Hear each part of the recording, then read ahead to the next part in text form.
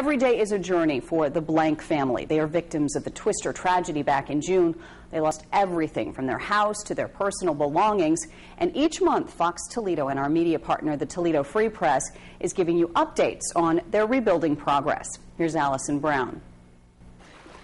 This is a big week for the Blanks. Right now, they are in the process of moving out of their friend Becky Binn's house, who they have been staying with here in Perrysburg for weeks.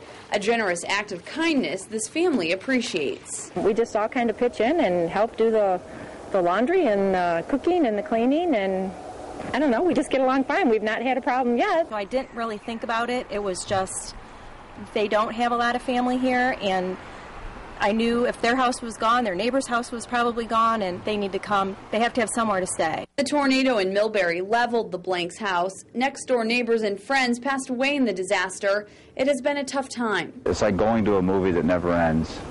You know, every day you're, you're living a portion of the tragedy. I have a real new perspective on life. You know, I, I've never really tried to let the things that I have no control over bother me, but it's a lot easier now. And the Blanks are grateful for their lives and health. Recently, they got back from a cruise where they did some much needed relaxing. Now, the Blanks tell me they will be living at their same lot in Millbury. They actually saw blueprints for the house today. Allison Brown, Fox Toledo News. Meantime, our media partner, the Toledo Free Press, will continue its series of stories tomorrow with the Blank family titled Storming Back. This week's article takes a lighthearted look at some of the jokes the Blanks have been encountering and since the Twister tragedy. Specifically, Ed Blank has been teased about losing a pair of purple underwear that were found after the storm that he insists are not his. But the humor does help the family to cope. They did recover a little bit from the wreckage.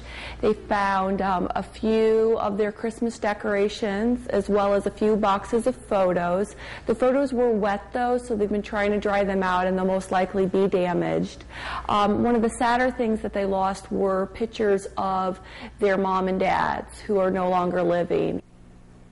This week's Toledo Free Press hits newsstands tomorrow.